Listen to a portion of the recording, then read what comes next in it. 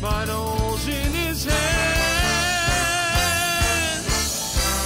I've been set free by the cross.